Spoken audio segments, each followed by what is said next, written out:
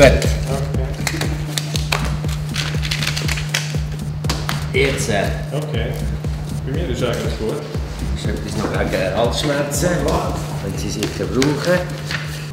Vielleicht noch zur letzten Frage. Vision von Schwammendingen, sagen wir vielleicht in 10, 20 Jahren. Wohin soll sich das Quartier entwickeln? Wie sieht es aus?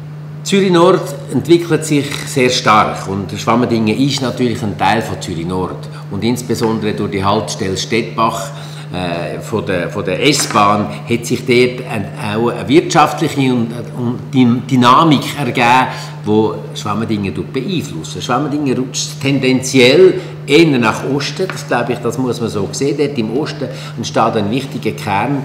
Wir haben in der Bau- und Zonenordnung dem auch Rechnung getragen, indem wir dort eine leichte Verdichtung zugelassen haben, äh, um, um dem können zu entsprechen. Ich bin überzeugt, Schwammendingen kann seine Qualitäten als Wohnbereich halten, muss sie noch weiter ausbauen. Wir haben zum Teil zu viele Wohnungen in einem zu tiefen Standard und dann gibt es natürlich die entsprechende demografische Entwicklung.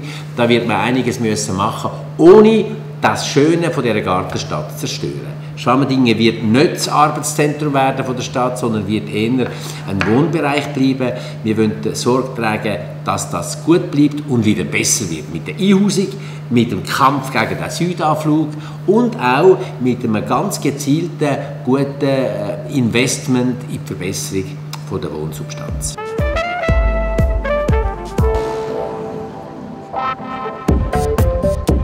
Für Tele Schwammendingen das drittgrößte Lokalfernsehen in Zürich vom Stadtpräsidenten. Alles Gute.